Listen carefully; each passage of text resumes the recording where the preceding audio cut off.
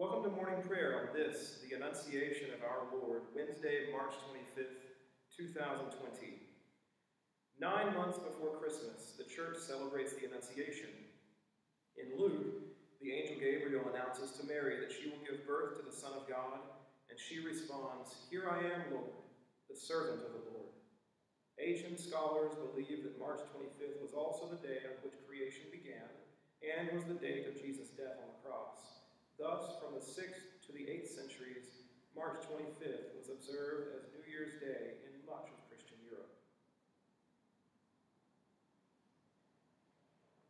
Satisfy us in the morning with your steadfast love, O God, that we may rejoice and be glad all our days. Praise to the blessed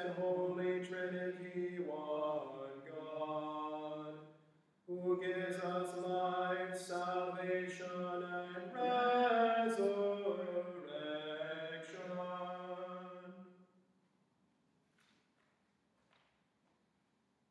Let us pray. Blessed are you, God of compassion and mercy. To you be praise and glory forever. In the darkness of our sin, your light breaks forth like the dawn, and your healing springs up for deliverance. As we rejoice in the gift of your saving help, sustain us with your bountiful Spirit, and open our lips to sing your praise. Blessed be God, Father, Son, and Holy Spirit. Amen. The Son of Righteousness will arise with healing in his wings. Oh, come, let us worship and praise. Today's psalm is Psalm number 100. Make a joyful noise to the Lord, all the earth. Worship the Lord with gladness. Come into his presence with singing. Know that the Lord is God. It is he that makes us, and we are his. We are his people and the sheep of his pasture. Enter his gates with thanksgiving and his courts with praise. Give thanks to him, bless his name. For the Lord is good his steadfast love endures forever, and his faithfulness to all generations. The Sun of Righteousness will arise with healing in his wings.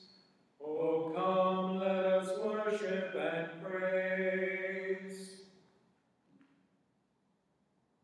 A reading from Isaiah chapter 7, verses 10 through 14.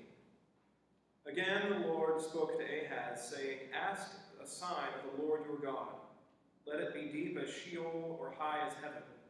But Ahaz said, I will not ask, and I will not put the Lord to test.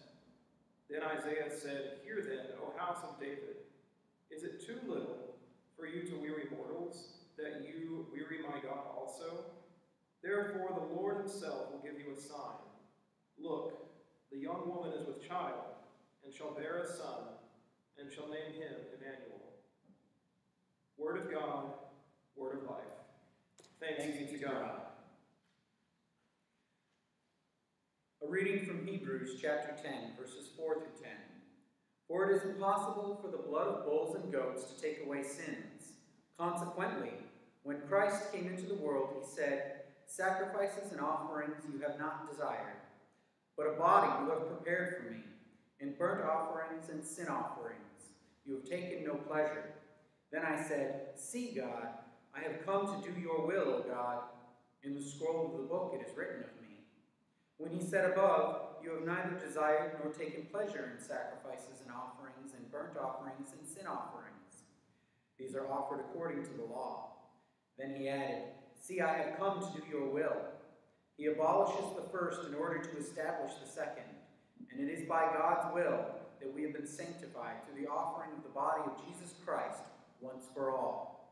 Word of God, word of life. Thanks be to God. You have been born anew through the living and abiding Word of God. The Song of Zechariah. Blessed be the Lord, the God of Israel. He has come to his people and set them free. He has raised up for us a mighty Savior, born of the house of his servant David. Through his holy prophets he promised of old that he would save us from our enemies, from the hands of all who hate us. He promised to show mercy to our fathers and to remember his holy covenant.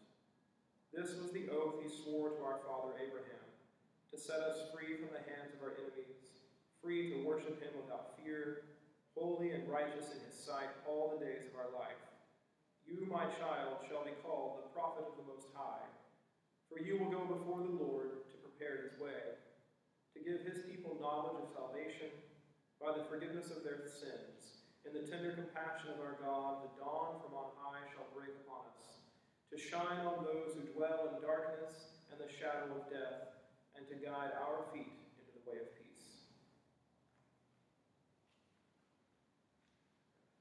The Holy Gospel according to Luke, the first chapter, verses 26 through 38. Glory to you, O Lord. In the sixth month, the angel Gabriel was sent by God to a town in Galilee, Galilee, called Nazareth, to a virgin engaged to a man whose name was Joseph, of the house of David. The virgin's name was Mary, and he came to her and said, Greetings, favored one, the Lord is with you. But she was much perplexed by his words and pondered what sort of greeting this might be. The angel said to her, Do not be afraid, Mary, for you have found favor with God. And now you will conceive in your womb and bear a son, and you will name him Jesus. He will be great, and he will be called the Son of the Most High. And the Lord God will give to him the throne of his ancestor David. He will reign over the house of Jacob forever, and of his kingdom there will be no end. Mary said to the angel, How can this be, since I am a virgin? The angel said to her, The Holy Spirit will come upon you, and the power of the Most High will overshadow you. Therefore, the child to be born will be holy. He will be called the Son of God. And your, now your relative Elizabeth, in her old age, has also conceived a son. And this is the sixth month for her who was said to be barren. For nothing will be impossible with God.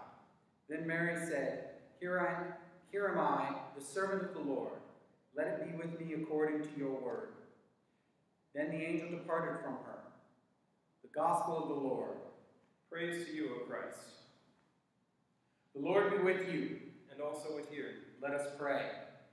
Mighty God of mercy, we thank you for the resurrection dawn, bringing the glory of our risen Lord who makes every day new.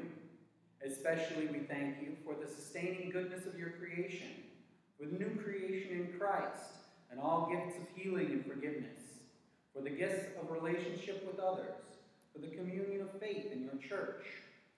Merciful God of might, renew this weary world, heal the hurts of all your children, and bring your peace for all in Christ Jesus, the living Lord.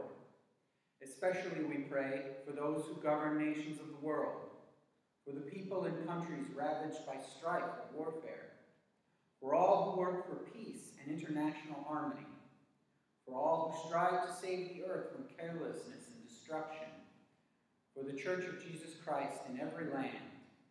O God, you have called your servants to ventures of which we cannot see the ending, by paths as yet untrodden, through perils unknown.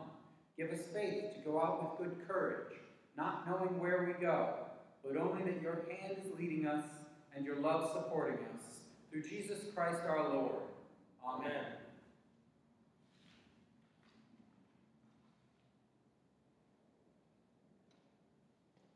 Gathered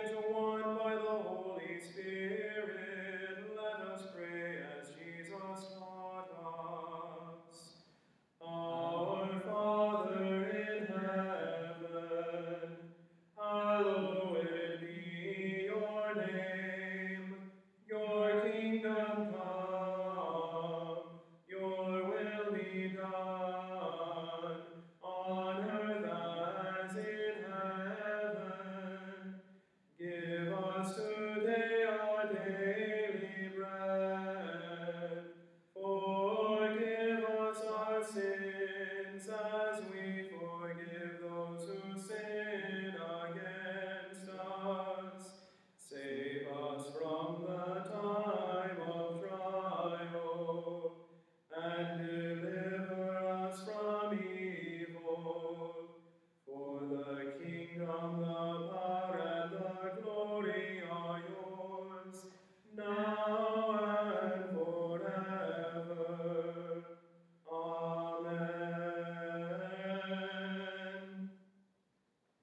Let us bless the Lord.